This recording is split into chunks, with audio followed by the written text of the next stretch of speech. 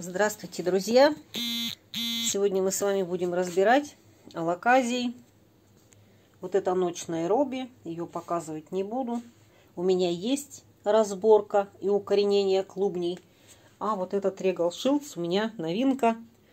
Но она у меня уже два месяца, и посмотрите, как она выросла. Наверное, сантиметров на 20, а то и 30 в высоту. Раскидала свои объемные листы вот эти такие большие по полметра. Новых навыпускала. А клубни я у нее так и не посмотрела. Горшок огромный, 22 Вся она у меня, к сожалению, в кадр не войдет. Я ее поставлю в ящик и уже в ящике буду показывать только содержимое горшка. И то еще и ящик нужно найти такой подходящий потому что действительно очень объемный цветок, практически как пальма, высотой от пола больше метра. Вот он горшок огромнейший. Обминаю и достаю. Горшок сразу в сторону. Большое количество корней, как всегда спрессованных, как каучук. Ну, а я сейчас вот так аккуратно, потихонечку буду обтрушивать все в горшочек и выискивать, конечно же, клубешки. Очень хочется найти. Э, на данный момент у меня э, заказов много на лаказе и сортов много, но я распродала по осени очень много прямо клубнями. Не стала проращивать, чтобы детки не мучились всю зиму. И в данный момент остались ночь Найроби, шкура дракона и серебряный дракон. Ну и некоторые еще подростками. Взрослые тоже буду продавать, потому что у меня их и по 3, и по 5 штук. Так что, кто захочет взрослую лаказию, пожалуйста, пишите, дописывайте к своим заказам. Ну или просто так спрашивайте. Так, ну вот пока ничего не вижу. Не знаю, как у меня это войдет. И, и наверное, темно будет кстати, из-за листьев. Из-за кроны листьев они закрывают лампу. Вот смотрите, какая она. Считайте, что я пальму разбираю. Натуральная пальма. В общем, даже не знаю. Найду хотя бы вот один клубень. Покажу вам, как они растут. Вот. Растут вот так. Это вот клубешочек, но почему-то он очень маленький. Бывают клубни достигают 2 сантиметра. Вот те, это редкость. Но для такого горшка как бы и должны были быть. Что мы делаем с клубешком? Берем вот так аккуратненько и выкручиваем его. Вот, все, этот клубешок отставляем в сторону. Он небольшой, но чистенький, беленький, аккуратненький. Если посадить его во влажный мох с факнум и поставить тепличку, недельки через две, максимально через месяц он даст росток. Так, разбираю дальше. Давайте я отключу камеру, потому что мне очень неудобно. Нужно ее положить. Не могу и держать, и разбирать. Боюсь что-нибудь повредить. И потом все, что найду, вам покажу. Так вот, до чего я докопалась. Здесь вот тоже, смотрите, раз уже здесь виднеется вот клубешочек. Ну, по-хорошему их подрастить нужно. Но я все равно вытащу. Посидят подольше и взойдут. Вот это корень. Это не клубень, а вот это клубень крутим его, отщипываем, все. Вот еще один клубешок. Ну и так далее. А, результат покажу после полной разборки. Разобрала. Получилось у меня совсем немного, независимо от того, что горшок был огромный. Вот, смотрите, такой клубень. Вот еще такой большой клубень, два всего лишь.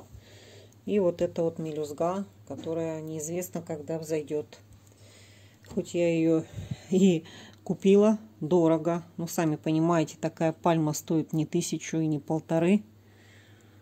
А клубешков всего-то ничего.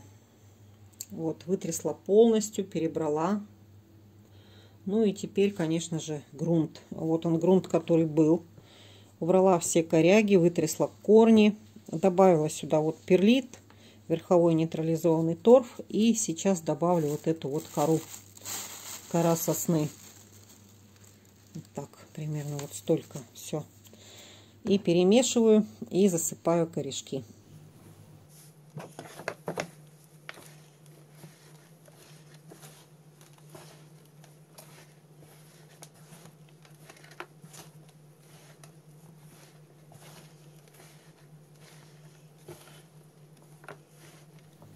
начинаю засыпать. Изначально поднимаю вытаскиваю весь волосяной ком, вот этот. Насыпаю одну лопаточку грунта под низ. Можно две лопаточки. Так, теперь укладываем как спагетти. Опускаем. Придерживаем.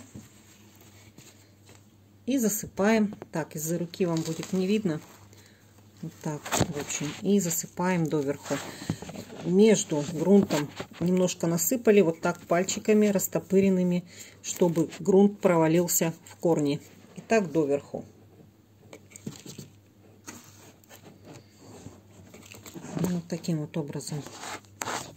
И он проваливается. Пересадила. Сейчас полью. И пусть себе растет, наверное, годик. И только через год в это же время я посмотрю у нее клубни. Дай бог нарастут. Но сейчас рассматриваем улов и что-то с ним делаем.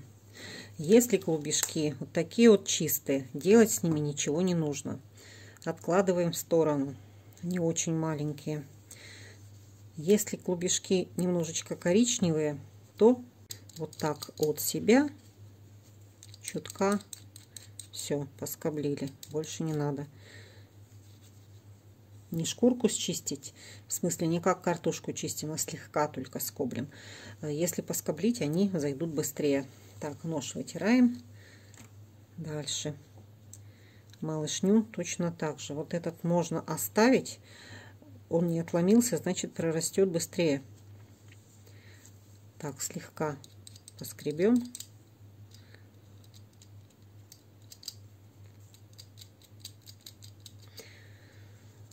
сажается клубешок толстеньким кверху.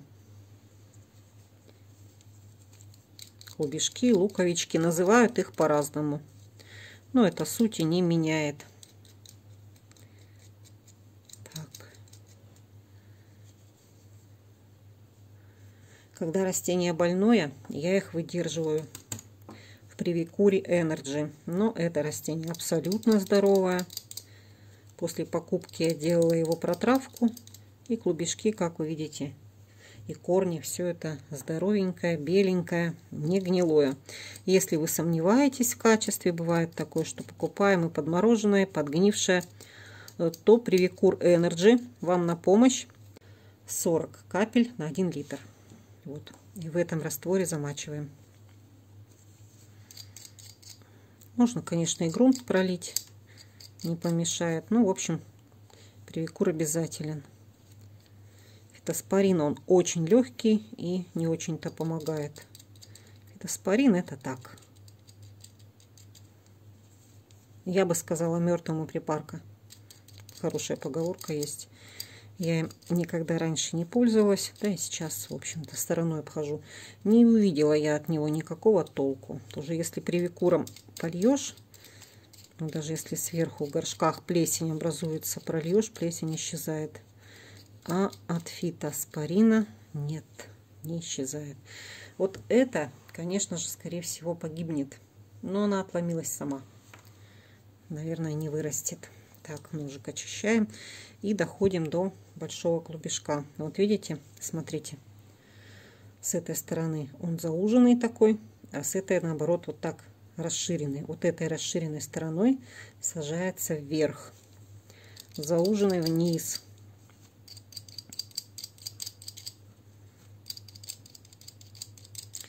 И корни появляются вот отсюда, сверху. И корни, отсюда росток идет кверху. В общем, очень интересно она растет, необычно. Бульбочка такая. Да я показывала вам неоднократно, у меня же видео есть. Так, теперь уже они в плейлисте экзотические растения. Можете посмотреть, как я их разбираю, как выглядят детки, как они вырастают, э, вообще, какие я отправляю, в каком размере. Так, ну вот здесь, видите, тоже бульбочка. Иногда она бывает вот такая прям черная. Это не значит, что она плохая. Это значит, что она старше вот этой, она уже покрылась такими чешуйками. Чешуйки надо удалить. Нужно удалить. И вот здесь уже пробивается росточек. Главное ничего не повредить. Иногда шкурки вот эти, которыми она поросла, в общем, как молодая картошка. Шкурка иногда бывает тоненькая, счищается легко, а иногда приходится вот усилия прям приложить, поскрести как следует. Ну, чем лучше очистите, тем быстрее взойдет. Мох сфагнум у меня вот такой вот сухой, таежный. Заказываю его всегда у Наташи Хомяковой. Белоснежный, просушенный. Многие сажают свежий. Ну, я пока не нашла в Новосибирске, где свежий покупают. Да и этот удобнее. Сейчас я его намочу чистой фильтрованной водой, как следует. Затем отожму вот так, как носки. Разровняю, и вот как раз в него и можно будет сажать клубешки. Подписала рюмочки, разложила клубешки и вот так вот подготовила мох. В меру влажный. Ну а теперь от мха отщипываем кусочек. Берем клубешок кверху широким, на серединку, чтобы ему возможность была расти и вверх, и вниз. Заворачиваем и сажаем вот сюда вот в рюмочку. Все. Больше ничего не нужно делать. Один раз в неделю слегка с пульверизатора сбрызнуть. Если сомневаетесь во влажности, достаете весь ком, вытаскиваете клубешок, увлажняете в меру, опять отжимаете, опять заворачиваете. Это для неопытных товарищей, потому что изначально у меня было то же самое, не знала, насколько можно увлажнить, чтобы потом он не испортился и не загнил.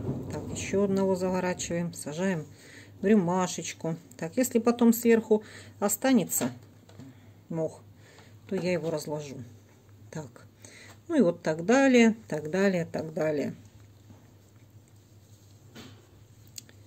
Так и сюда стаканчик. Так вот они потом в стаканчиках и пойдут в мохи. Подростки, они идут уже в мохи и в грунте сверху, снизу. Сейчас покажу. Так, девчата, вот здесь у меня стоят уже. Вот некоторые. Вот медная. Ну, эти все уже расписаны. Душистая. Ну и сюда же ставлю регал. Вообще у меня таких несколько тепличек, там уже и деток полно. Так, а подростки вот так выглядят. Ну, это практически взрослые. Здесь тоже, видите, корни, много корней. Когда-то она сидела в мохе также, затем я достаю, насыпаю грунт на низ, потом вот эту вот подушку с мхом на серединку и вокруг тоже обсыпаю свежим грунтом. Это уже просто на полке стоит, а адаптирую адаптирую вот так. Некоторые почему-то очень видят большую проблему в адаптации цветов. Я не вижу. Достаете из тепличек, вот они у меня стоят. Видите, это адаптация. Достаете из теплички, ставите в какую-нибудь посудинку прозрачную, большие уже готовые, и накрываете вот так дня на три. Не полностью, не полностью, а вот так. Все, дня три постояли под лампами, затем на ночь не утром, а именно на ночь, чтобы лампы не были включены. На четвертый день убираете. Все, и вся адаптация. А то понаписали тут мне на бегонии, ой, танцы с бубнами, ну какие это танцы с бубнами. А если растение к вам идет в посылке, и идет оно 8-9 дней, бывает и такое, какое оно придет? Естественно, его в любом случае надо ставить в тепличку, потому что оно такой стресс перенесло и засохло, и света не видела в закрытом пространстве. То есть то же самое, как из теплицы. Адаптация это проще пареной репы. Больше громкости, чем дел. Накрыли вот так поперек. Постояло три дня, сняли. Все, растение готовое. И вот такие вот подростки тоже будут в продаже. Некоторые вот, ну как бы не совсем подростки, они в оптовом магазине уже как взрослые продаются. Вот. Такие. Вот медная. Кому нужно, распишу. Вот эти вот взрослые еще не расписаны. Ну, на этом у меня все. Всего вам доброго. Всех с прошедшим праздником мужчин. Мирного неба над головой. Смотрите мои видео. Телефоны для заказа 839 464 60 04. И на этом до новых встреч!